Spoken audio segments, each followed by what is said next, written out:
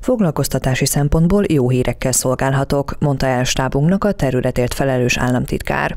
Bodó Sándor a Búi munkásszálló átadó ünnepségén osztotta meg gondolatait. Természetesen a veszélyhelyzetet megelő időszakban is Kedvező mutató számokról adhattunk tájékoztatást, de a veszélyhelyzet idején azért nagyon sok olyan intézkedést kellett megtenni, amely a munkahelyek megőrzését, illetve új munkahelyek teremtését biztosította.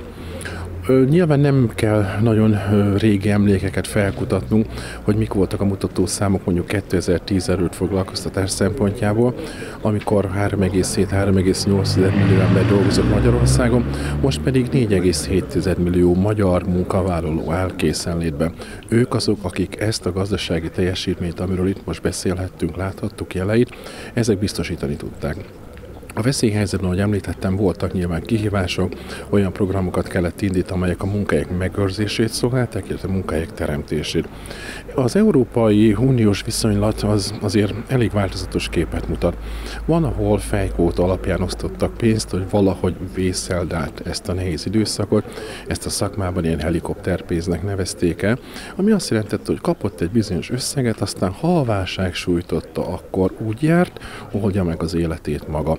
Ezt mi nem vállalhattuk fel. Ezért aztán azt mondtuk, hogy mindenkire szükség van a gazdaság teljesítményéhez, a cégek kapnak állami támogatást, a munkavállalók bizonyos ágazatokban kaptak ágazati bértámogatást, stb. stb. önfoglalkoztatók, vagyis lehetőség szerint mindenkire gondoltunk. Hát sajnos biztosan van, akire nem siker, aki, aki nem sikerült segíteni ebben az élethelyzetben, de a nagy számok azok minket igazoltak, hiszen hogy említettem, 4,7 millió munkavállaló van, és hát itt az önök térségében is kedvező számadatokról tudunk ö, nyilatkozni. Bodó Sándor kiemelte, hogy a veszélyhelyzet legnehezebb időszakában a Bói régióban 20 ezer álláskereső volt.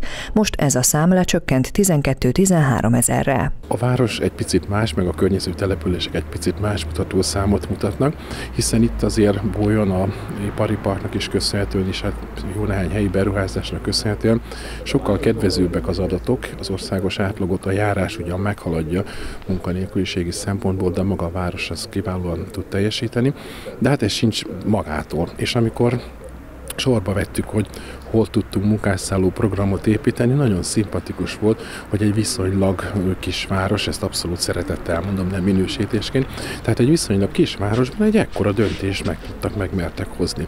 A munkásszálló programnak több küldetése is volt.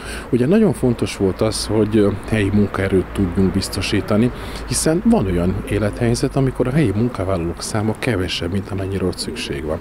Persze arra is kell vigyáznunk, hogy a magyar települések ne néptelenedjenek, néptelenedjenek el, tehát itt azért a patika mérleg, az fontos eszköz. Tehát biztosítanunk kellett, hogy egy nagy beruházás az legyen elégséges munkavállaló, és itt, amikor a ipari park kapcsán is ez előjött, tényleg minden tiszteletem, mert a bóiak egy olyan komplett kis anyaggal jöttek, hogy ők szeretnének munkásszállót készíteni.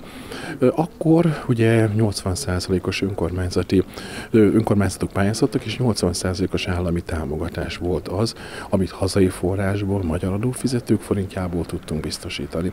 A 20% volt az önrészvállalása. De hát itt, mikor körbejártunk, látszott, hogy azért önrészként jócskán többet tettek bele, hiszen egy minő minőség, minőségi munkásszállót, sőt én már nem is nagyon merem ezt a szót használni, hogy munkásszálló, én munkás hotelt hoztak létre. Önkormányzati szinten nagy vállalás egy ilyen pályázat megvalósítása, tette hozzá. Látnunk kellett, hogy a gazdaság szereplői is mozgolódnak ezen a téren, ezért aztán a munkásszálló kiírásokat úgy módosítottuk, hiszen ma már jó néhány forduló ö, ö, lement, hogy a cégek is pályázhassanak, hiszen nagyon sok cég, főleg nagyobb cégek meg úgy érzik biztonságban magukat, ha mondjuk amikor álláshirdetést adnak fel, hogy gyere hozzánk dolgozni, nálunk van munkásszálló munkásod elhelyezkedési lehetőség.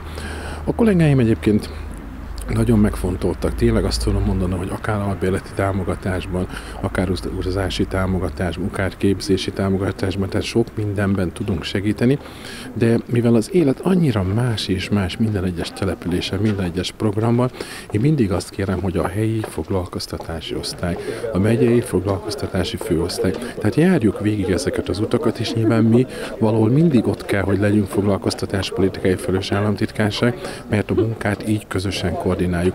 Egyébként kiváló egyébként a helyi hozzáállást, tehát tényleg csak azt tudom mondani, hogy akár önkormányzati részről, akár kormányhivatali részről abszolút pozitív és együttműködő tapasztalataim vannak a helyekkel kapcsolatosan. Az államtitkár kiemelte, hogy a jövőben további hasonló fejlesztésekre számít az egész országban, mint ami bolyban megvalósult.